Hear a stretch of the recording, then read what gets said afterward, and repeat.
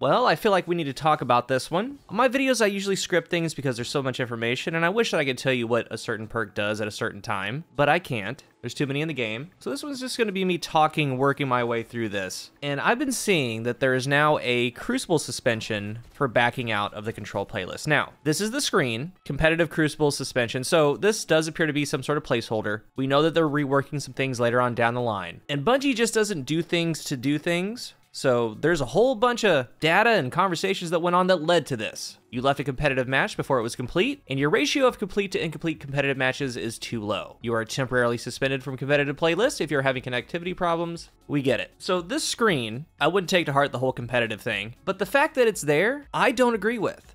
Like at all. We're actually going into the deep end with a couple things in Destiny PvP. Because now, as a whole, we have skill based matchmaking and quitter penalty for the quick play playlist. Now, a lot of people fight with me on if Control is technically the quick play playlist. It is. It's the biggest thing right at the top, it's where everybody goes. You look down at Clash, it does not look for similar skill. You look down at survival, it looks for similar skill. In which, by the way, if we're gonna have a quitter penalty, if we're gonna have skill-based matchmaking, go full force and make the third-person camera restricted enabled as well. They've loosened skill-based matchmaking, and I didn't make a video on that. I've made four, five, six over the past six years. Okay, it's the same conversation, and I'm not gonna get baited into it because the truth is there does need to be some skill-based there to protect the newer players, the lower skilled players. I've always been an advocate for that. There needs to be that. However, on the other end, there cannot be strict skill based matchmaking in a peer to peer game. You get things like this.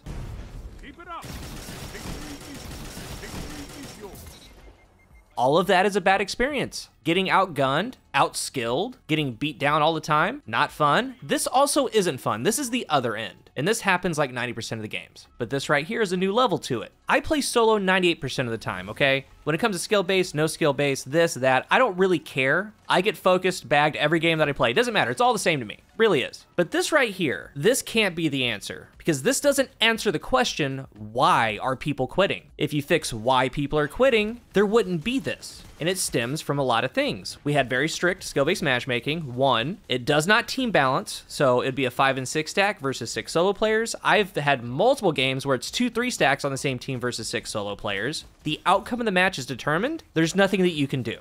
It is not fun. So people were quitting. And there's also the people that really glorify that mythical KD number that they see. Then we have map waiting, disjunction, Bannerfall, Midtown, Convergence, all of these long ranged maps over and over and over. And I put it up on Twitter the other day, like, dude, like, it feels like there's only five maps. There's over 20 maps in the game, but we're playing these same five and it's just wearing me right out. So yeah, a lot of people were quitting from that. And then fundamentally, PvP itself, the only real thing that you're getting from PvP week after week is one pinnacle. Sure, you can do your powerful tier ones and glory, survival, things like that. But that's really the chase in PvP. When the game started, a lot of it was you get a lot of cool guns, you go try them out in the Crucible. You also have the skill factor, test your skill versus another player. But now I don't really know what it is. Because if you're putting in a public playlist, that's what it is. It's a pub, right? This is quick play. If you're putting a quitter penalty and skill based matchmaking, like what are we doing here and why are we doing it? What are we doing it for? I don't understand what we're doing it for.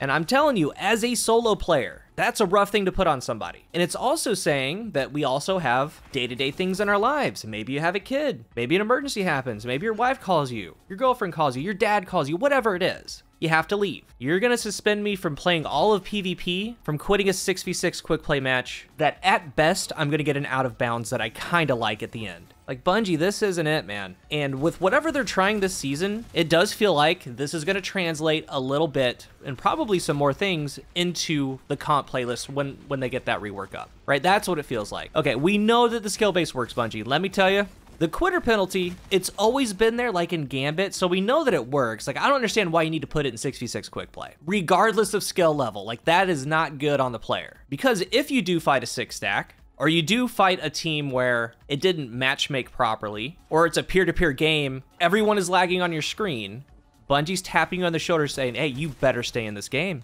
you need to stay in this game. This quick play 6v6 control match, you got to stay in because if you don't, you're not to be able to play. And on that foundation, that's why it does not need to be there at all, especially in a peer to peer game. It kind of blows my mind. Now, I myself have talked about quitters on Twitter, that there's been a lot of them. I know a lot of you have seen it. Maybe some of you haven't, but there has been a lot. Enough so that they put in the suspension penalty. But let's talk about why. Like, those are the questions that need to be asked.